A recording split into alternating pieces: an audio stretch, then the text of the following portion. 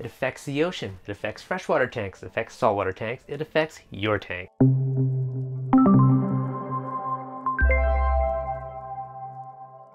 Hey guys, I'm Devin with Reef and today we're going to be talking about the nitrogen cycle. Now, every tank goes through what's called the nitrogen cycle.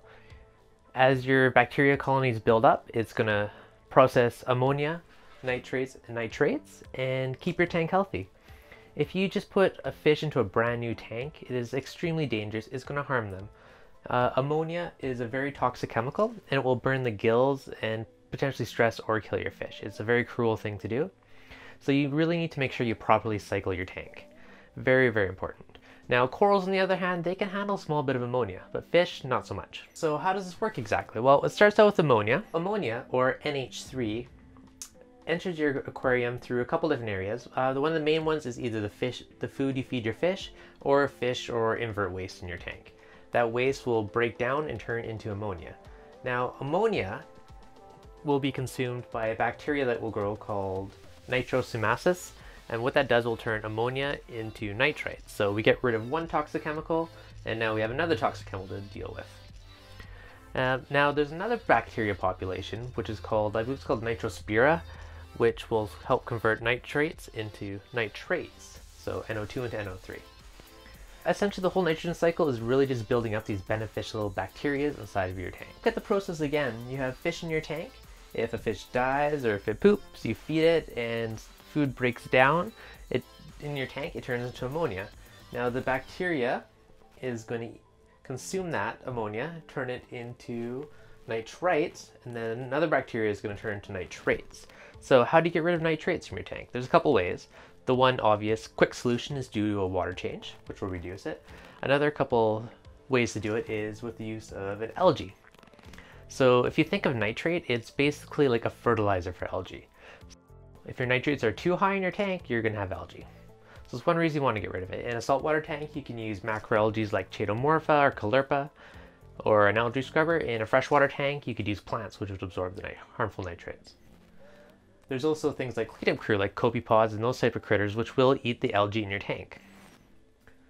And now those uh, little copepods are eaten by fish and other stuff, and then the other fish and stuff could be eaten by bigger fish, and that's kind of how the circle the cycle continues over and over again. That's kind of the basis on which you need to know about it. Now, when you're starting a new tank, you're going to start out, you're going to have a spike of ammonia, and then it's going to taper down. Next, your nitrates is going to come about partway through the ammonia cycle, and that will start to taper down. And then as your nitrates come up, they'll start to consume the nitrites, and your nitrates will grow until you do a water change, and it can bring it down, spike it up, or your macroalgae is consume Now, ideally, you want to have less than 10 nitrates is kind of considered a general acceptable thing. In my tank, I'm probably 15 to 20. There's no algae issues. There's no big deal. So it's not a critical thing, and that nitrates is definitely the least toxic, the least invasive in the tank. However, elevated levels will cause extra algae, or it can potentially harm your corals. Now, when you get a little more advanced, there's a few other things you can do to help control nitrates. Uh, one of them is called carbon dosing, which is addition of a carbon liquid carbon source such as vodka or vinegar, two common ones. I've also heard people using sugars. And what those sugars or this carbon source will do is it will feed the bacteria, the denitrifying bacteria. So as that bacteria grows, it's going to consume more of the nitrates and help you your tank. But that's a very kind of advanced topic, which we'll get to in a future video. It's not something you want to jump into, as there is some risks involved as well.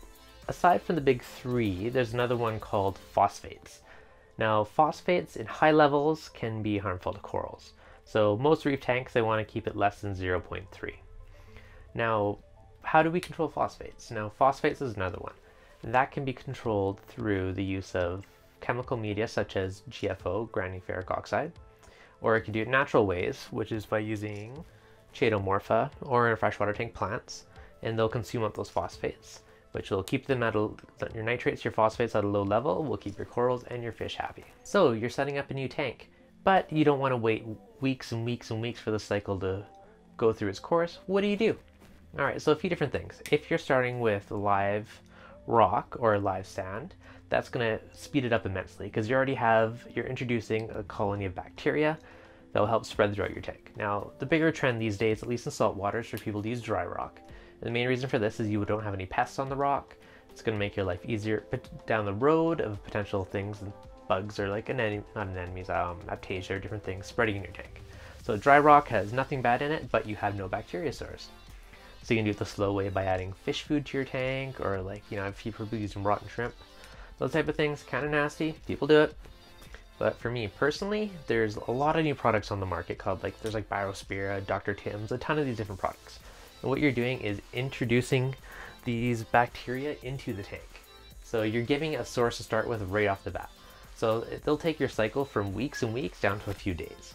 So it's an easy way to add a couple fish and a few things in a hurt. If you're starting a new tank, make sure your tank is fully cycled before you add anything alive. When your cycle's almost done, you can start to add some coral, but do not add live fish until your tank is fully cycled. And if you do, make sure yours are denitrifying bacteria. If your friends are starting a new tank, make sure you send a link to this video and make sure they fully understand this, because it's very important stuff. Now, if you guys have any specific questions, let me know in the comments below, and I'll be sure to answer them as quickly as possible.